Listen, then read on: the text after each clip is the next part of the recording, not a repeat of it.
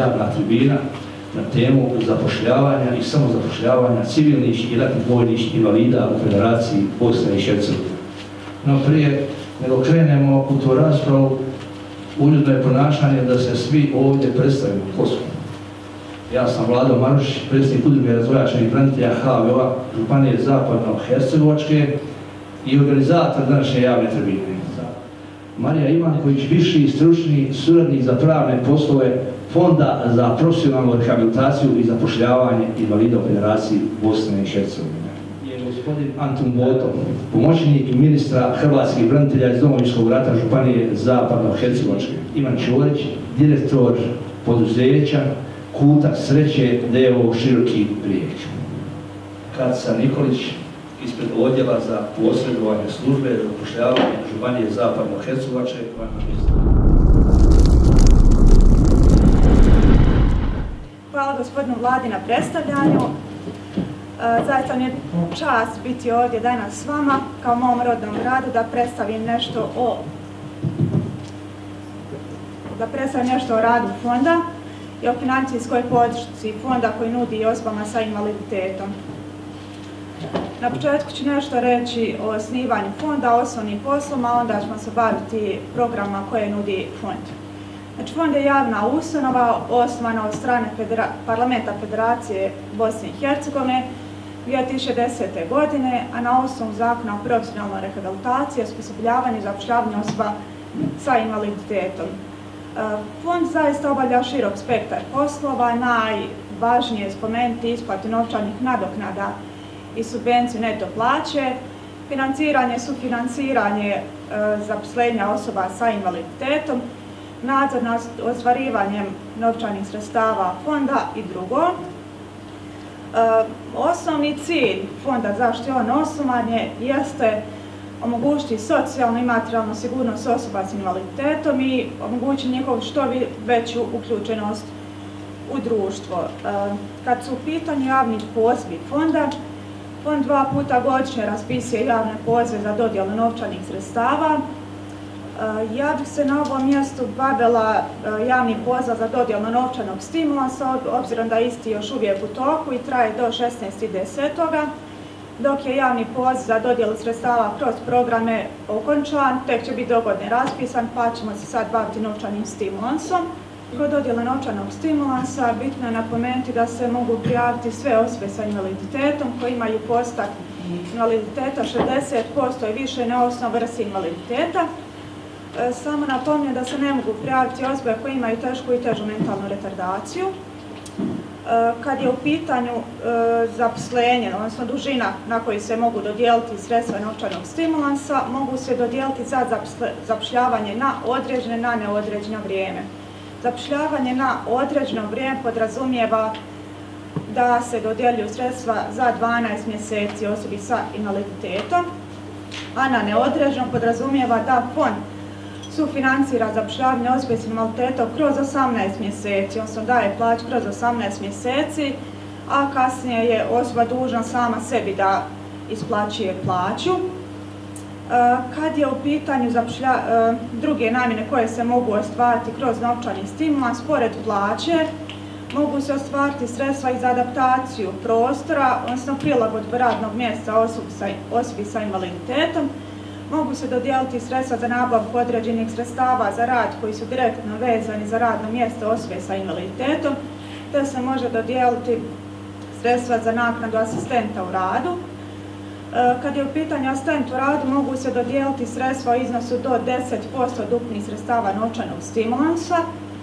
Da bi se odobrila namjena asistenta u radu, bitno je da se radi o osobi koja je gluhonijema, slijepa, osoba koja ima intelektualne poteškoće i motoričke smetnje i osoba koja se nalazi u kolicima.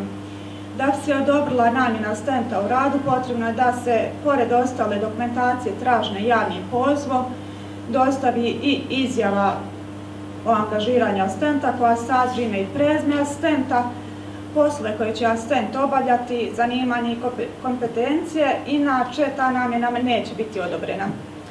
E, bitno je napomenuti o, procent, o postocima koji se moraju dodijeliti za plaću. Znači, kad se planira plaća, bitno je kod zapošljavanja na određeno da 70% ukupnog iznosa novčanog stimulansa mora se planirati za plaću, a ostalo može kroz druge ove namjene koje sam pobrojala.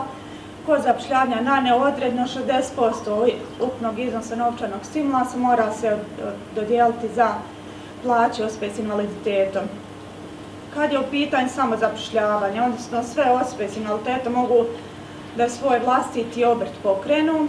Bitno je samo prilikom osnivanja obrta da se tu radi o glavnom zanimanju, ne, ne dopunskom zanimanju i bitno je da se osoba s invaliditetom zaposli na puno radno vrijeme. E, kod obrtnika bitno je napomenuti da fond odnosno financira plaću, neto plaću kroz 18 mjeseci, a E, obrtnik ima pravo na povrat uplaćenih poreza i doprinosa kroz cijelo vrijeme, znači dokle god podnosi zahtjev za povrat uplaćenih poreza i doprinosa. E, povrat uplaćenih poreza i doprinosa se vrši neovisno javnim pozivima fonda, znači konstantno kroz cijelo vrijeme. E, da bi se izvršio povrat uplaćenih poreza i doprinosa, potrebno je fond dostaviti određenu dokumentaciju koja također propisana pravilniku koji se nalazi na web stranici fonda. E, bitno je napomenuti da se povrat poreza doprinosa može izvršiti za prethodni mjesec tekućoj godini ili za prethodna tri mjeseca. E, sad da se vratim ponovno na novčani stimulans, šta se još mora dostati? Znači, pored rješenja o registraciji odgovarajućeg obrta, koji mora biti registriran e, poslije okončanja posljednjeg javnog pozva, to je u ovom slučaju 13.4.23. godine, znači u periodu od tada pa novije, znači može se registrirati obrt.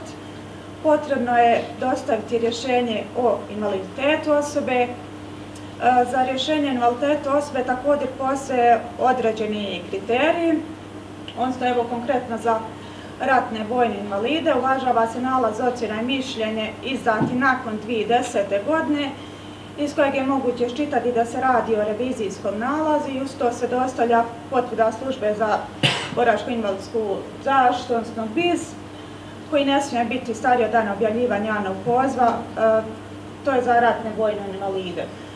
Kad su u pitanju civilne žrtve rata, tu se dosta nalazi ocjena mišljenje, e, izdato od 2007. godine pa novije, kad se radi o osobama sa intelektualnim poteškoćama, Također je bitno napomenuti, znači ne može osoba sa težom i e, teškom mentalnom retardacijom i to je to što se tiče e, dokaza o invaliditetu. Nadalje dosta se ovjerna kopija rješenja o razvrstavanju pravne osobe prema klasifikaciji djelatnosti, odnosno e, statistika.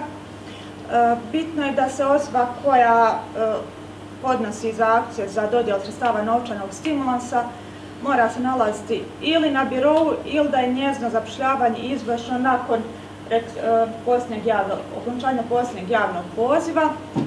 Također se potvrda, e, umjesto potvrde iz biroa da, da je osoba nezaposlena, može dostaviti potvrda od Porezne uprave federacije iz koje je vidljivo da e, za osobu s invaliditetom nema aktivnih osiguranja, ako osoba s invaliditetom želi e, da izvrši neku nabavku sredstava za rad ili da izvrši adaptaciju, bitno je da se dostaju odgovarajući predračuni. E, ne mogu se dobiti sredstva za nabavku e, nekih sredstava koji se mogu kasnije dalje preprodavati. On su roba široke potrošnje.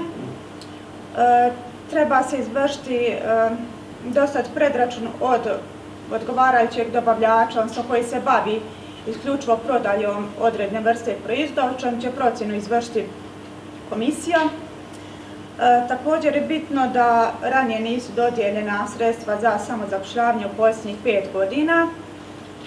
I to je to što se tiče e, novčanog stimulansa. E, bitno je još samo jednu stvar da napomenem, a to je da na novčani stimulans pored osoba s invaliditetom znači, koje pokću vlastiti obrt mogu se prijaviti i svi privredni subjekti, sve javne ustanove, znači svi koji žele zaposliti osobu s invaliditetom, tu se radi o zapošljavanju pod općim uvjetima, oni mogu planirati i bruto plaću, ali svi oni koji zapošljavaju pod posebnim uvjetima To znači obrtnici, privredna društva koja su osnovana za zapošljavanje osoba s invaliditetom i organizacije osoba s invaliditetom imaju odgovarajuću šifru djelatnosti, zapošljavaju pod posebnim uvjetima i oni mogu planirati samo iznos neto plaće, obzirom da povrat poreza i doprinosa ostvaruju mimo javnog poziva.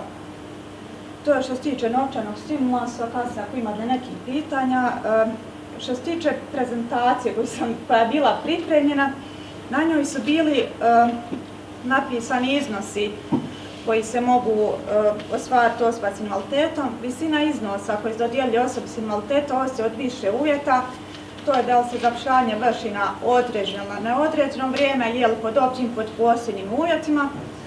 Evo, ja ću vam ovako reći iznose kreću od 9000 maraka ako se radi o zapošljavanju osobe sa 60% invaliditeta na određeno vrijeme, odnosno na 12 mjeseci, do 16200 ako se radi o zapošljavanju osobe sa 100% invaliditeta pod posebnim uvjetima na neodređeno vrijeme.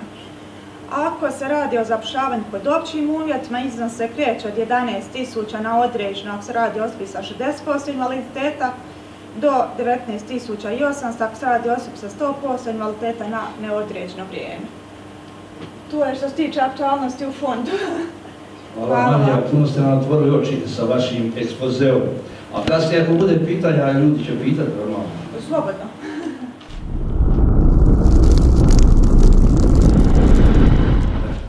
Ja bih postavio pitanje Kaci Nikolić, da ono kratkim crtama rekne kakva je uloga službe za zapošljavanje e, u javnim pozivima koje dva put, kako reče gospođa Imaković, e, pokrenu godišnje za zapošljavanje invalida, civilnih ratnih bolnih. Nas interesira služba za zapošljavanje s obzirom da su ljudi uglavnom evidentirani na službi i da njih poslodavci protiv javnim pozivima skidaju sa birova i što se događa kasnije kad njima istakne taj ugovor od 12 mjeseci i. Dobar dan, lijep pozdrav svima. Znači, ja ću vas informirati kratko o mjerama aktivnim koje mi imamo unutar službe za zapošljavanje Županije Zapadno-Hercegovačke. Dakle, naši javni pozivi su uvijek u suradnji sa Federalnim zavodom za zapošljavanje. Što se tiče programa invalida, zapošljavanje znači invalidnih osoba i njihovo samozapošljavanje, potrebno je istaknuti da smo mi nekad prije imali programe koji su bili fokusirani za ovu kategoriju ljudi, međutim unatrag par godina to se u većoj mjeri događa preko Fonda za profesionalnu rehabilitaciju gdje nam ljudi zapravo kao da nisu zainteresirani za naše javne pozive e, iz razloga što e, imaju bolje uvjete i bolju financijsku podršku preko Fonda za profesionalnu rehabilitaciju. Ono što mi imamo i što se provodi svake godine, e, to su dvije točke koje se tiču samozapošljavanja gdje nezaposlena osoba ukoliko je prijavljena na evidenciju nezaposlenih invalidna osoba koja to dokumentacijom dokaže pokreće svoj vlastiti obrt ili neku drugu djelatnost, privredno društvo i to je točka koja se zove e, startup ili poduzetništvo za demobilizirane branitelje. Moram priznati da ove godine smo imali svega jedan takav zahtjev. Što se tiče e, sufinanciranja zapošljavanja kod pravnih subjekata, također je točka koja se odnosi za demobilizirane branitelje, znači privredni subjekt koji je već registriran e, uz određenu dokumentaciju koju dostavi može zaposliti demobiliziranog branitelja i to je mjera koja se zove sufinanciranje zapošljavanja demobiliziranih branitelja. Kad su u pitanju financijske podrške, onda je to otprilike nekih na nivou godinu dana 7200 maraka, znači mjesečno cirka 600 maraka financijske potpore. Evo, toliko o tim mjerama koje su nam aktivne u protekli par godina. Nekad prije smo imali posebno programe za invalide koji su bili puno, kako bi rekla, puno veći odaziv su imali, ali s obzirom da sad fond je preuzeo tu funkciju, gdje su im te mjere e, možda malo povoljnije, e, onda to ide preko Fonda za profesionalnu rehabilitaciju.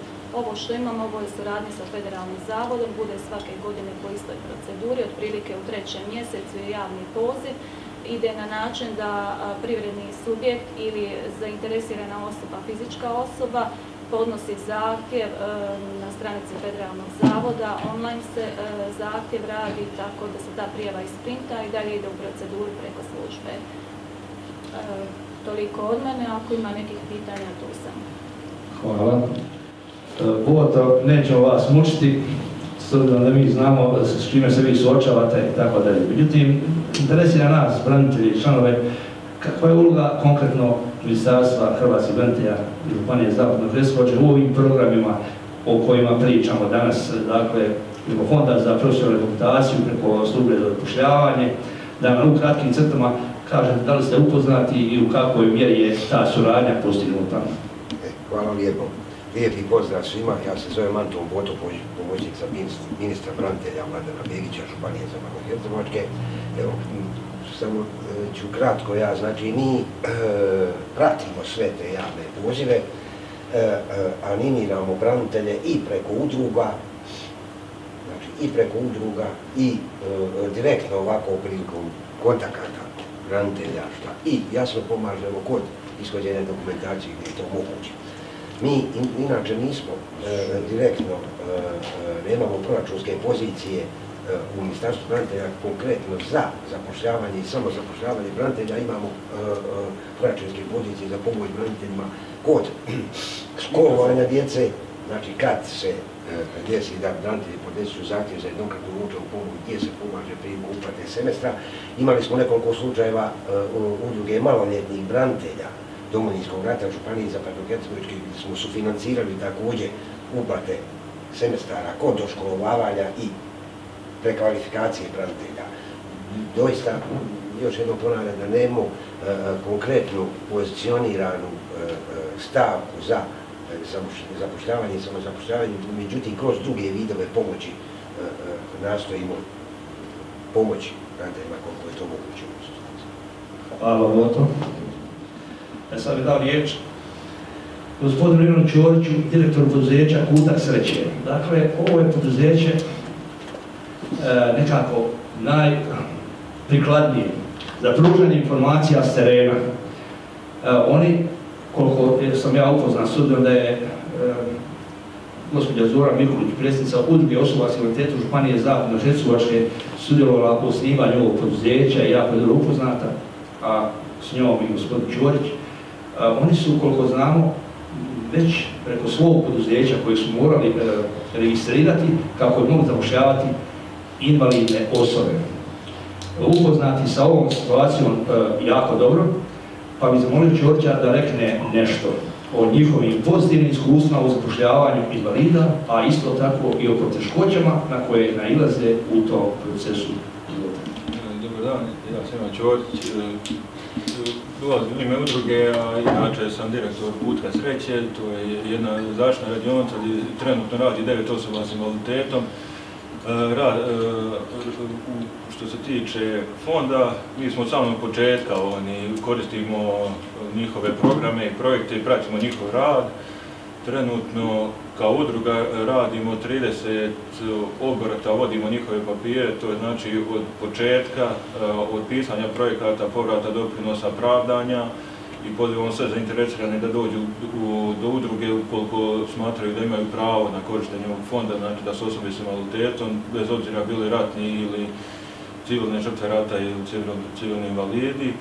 E, što se tiče našeg odnosa sa fondom, e, poprilično je dobar jer imamo stvarno veliku podršku od njih u vidu povrata doprinosa kao što sam napomenuo. E, dobivamo i plaće od njih što se tiče za sve naše zaposlene.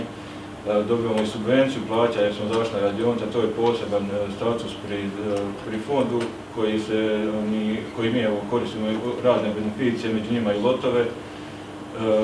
I kapi smo opremili preko fonda i zapošljavamo osobe isto tako preko fonda. Imamo neki poteškoća, smo se susreli i sa fondom i, i, i općenito u radu, ali uspjeli smo to nekako uz komunikaciju i razgovori suradnju s fondom nekako preći. Evo, nadam se da će nastavak suradnje biti uspješniji, ali kažem, u većini slučajeva stvarno imamo odličnu suradnju. E, što se tiče, u- evo rekao sam već, znači kroz naš e, kafić je radilo 15 osoba s, invaliditetom, a trenutno je e, 9. Neki su uspjeli ostvariti pravo na mirovinu, što- što je nekako i glavni cilj u našoj populaciji, tako da onaj, to ne znam što reći. E, mogu i gospođe Ivanković, gospođici. E, Kad se, e, kad istekne ugovor e, o zapošljavanju invalidne osobe, e, ona je dakle skinuta sa biroa koliko traje ugovor 12 mjeseci. Nakon isteka tog ugovora, e, koja su njezina prava prema zavodu, E, recimo konkretno ako je bila uposlena 12 mjeseci, e, koja su njezina prava s, e, sa zavoda za zapošljavanje, sa, sa službe za zapošljavanje, koliko mjeseci, ako je bila 12 mjeseci To vam može gospod sad odgovoriti što se tiče zada za zapošljavanje, mislim, Dobro, može onda Nikolić. E, Ja sam mislio da ste vi upoznati s time, ali može e, se tiče samog zavoda ne. Evo ja ću pokušati, ovaj, znači, pretpostavljam što vas zanima, što se događa s osobom kada istekne ugovor o Da. radnom odnosu, znači tada takva osoba ukoliko je radila 12 mjeseci a, dolazi na zavod za zapošljavanje Ne. a, dolazi na zavod za zapošljavanje i prijavi se u određenom roku nakon isteka radnog vremena svog, dobiva mogućnost novčane naknade koja u principu za razdoblje 12 mjeseci traje 3 mjeseca. Znači, to je u ovom trenutku okvirno 500 maraka mjesečno novčane naknade. Znači, to je rješenje e, mi imamo javnim pozivom što propišemo uvjete koje mora osoba ispunjavati da bi se prijavila na javni poziv. Znači, vezano, sad za zapošljavanje u javnim pa to je ono, onaj dio kad sam rekla da kroz novčani stimulans se može prijaviti svi pod općim uvjetima. To je jedino taj dio i novčani stimulans su sad određeni su uvjeti koji se mora ispuniti i privredno društvo ili obrtnik kako bi se zaposlio. A što je zapošljavanje pod općim uvjetima? Znači, evo, bilo koja firma nek se kod nas javi, dostavi dokumente propisane javnom pozom, bit će odobreno. Čak može, znači, zaposliti i aplicirati za dodjelu bruto plaće, znači, svi pod općim.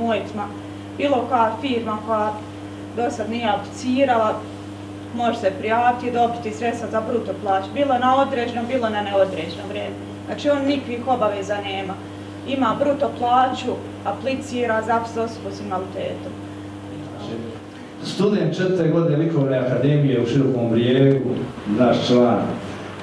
S njim smo jako zadovoljni. Izvoli Borislav.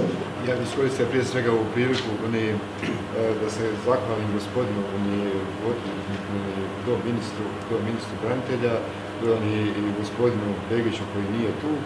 Oni su, oni su mene, oni mene u mom oboru, u mom školovanju, oni me financiraju po pogledu semestara. Po pogledu semestara to je jedna dobra gesta i, i, i, u samom, i prije, svega, prije svega u samom početku je trebala biti prekvalifikacija trećeg u četvrti stupanj gdje sam ja to oni, oni su mene i tu, oni doprinijeli, to je svoj obol i, javno bi to, onaj, javno bi se zahvalio i da je to jedna lipa gesta i tako. I oni mene i dalje onaj, nastave, oni, nastave financirati i to je jedan primjer. Mislim da i, ostali ne bi imali, imali problema ako se nađu u jednoj takvoj situaciji ili sličnoj situaciji. Ja što se tiče sebe, ja to iskoristio sam priliku, prije svega nisam imao priliku. Hvala vama, ali ja ću samo kratko. Znači, ipak mi imamo tu sluha i doista je ovo jedan primjer gdje čovjek treba govoriti da se o točkom je da. Ali evo mi, e, drugi smo ipak reći, Borislav je godište 1966. E, otac troje djece, branitelj, od početka do kraja iz borbenog sektora, prošao je sve terene.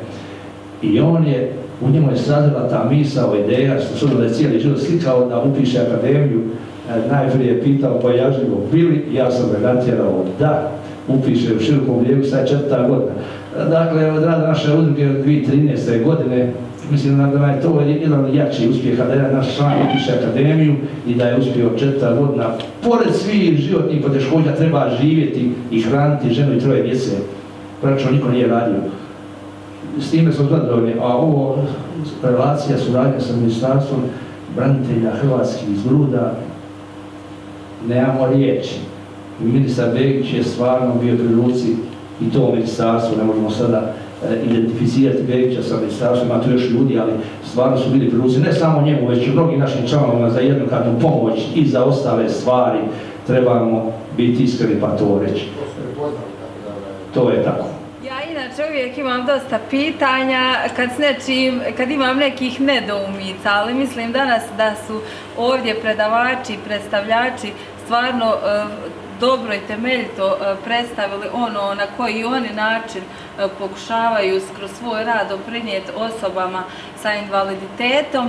E, evo ja bi možda posebno istaknula ovaj kutak sreće kao neki pozitivni primjer, evo i u širokom brijegu, kako možemo uz pomoć države i tih financija usmjeriti stvarno mlade ljude da, da nešto rade, da nešto stvaraju i, ovaj, da taj invaliditet ne treba biti prepreka i nekako mislim da evo svi mi zajedno u svom radu i, ja u političkom i ovi ostali predstavnici svog sektora trebamo vidjeti e, neki način inkluzije tih osoba sa invaliditetom u društvu. Nije dovoljno njih nekad samo pomoć financijski i da je to to posebno. Mislim da je taj, važni taj društveni ovaj, E, e, aspekt kada su oni stvarno uključeni u društvo i osjećaju se vrijedni i evo, hvala vam na svemu, ja stvarno nemam pitanja.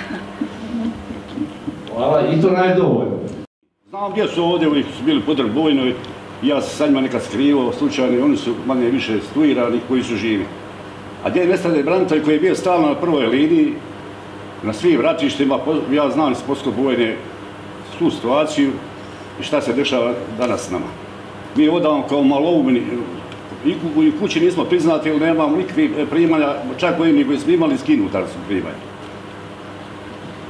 Znači, Vinko, vas zanima gdje je nestao čovjek, gdje se skriva on od grupe Majke i Gorana Banja.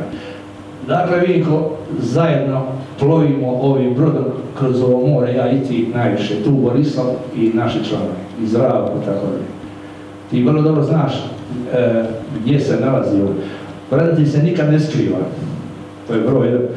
A to da je on diskriminiran u pogledu svojih prava, a to je smisao naše uzglede zvojačenih branitelja. Dakle, borimo se da njihova prava. A da vam pravo kaže, niti i vi znaš, da su mnogi naši članovi dobili neka prava jednokratna. Dakle, pomoći od Hrvatske vlade, od e, Fondacije za stambeno zbrinjavanje federaciji, e, jednokratnih pomoći ili lijevo, desno, ali ono glavno za što mi zovemo to je ono trajno pravo, prenosivo pravo u vidu braniteljskog dodatka. Da li ćemo uspjeti u tom, to je drugo pitanje, tu je Ministarstvo branitelja iz Gruda, oni ne mogu postupati suprotno interesima vlade Županije zapadno hercegovačke Međutim, mi vršimo gotovo pritisak na ministarstvo i na vladu da oni konačno raspravljaju o tim pitanjima. Da li će neki dignuti ruke, Banožić oći, Antonija, ona će dignuti za nas ruku sigurno, ali ne znači to bi dovoljno za ono što mi tražimo i još neki zastupnici. Uglavnom, mi ne možemo pobiti svoje kože, znači borimo se da trajno pravo naših branitelja, a usput normalno koristimo i druge metode preko fonda za profesionalnu rehabilitaciju i ostalo.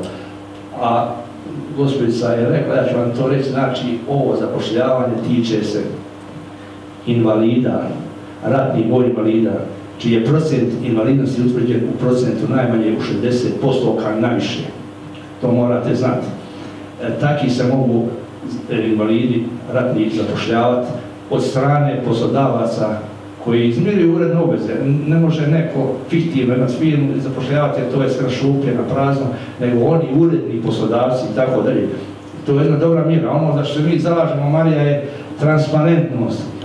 Ja i Antonija, kad smo bili na te izbore, glavna značajka e, naše kampanje bila je transparentnost. Znači, a pogledajte Antonija, ona je uvijek je god nastupala govorila transparentnost u poslovanju a transparentno znači otvoreno, da ljudi vide gdje idu novci, ko uzima, kako uzima, da ne bi bili diskriminirani oni istinski, potrebiti ljudi, invalidi, civilni i tako dalje.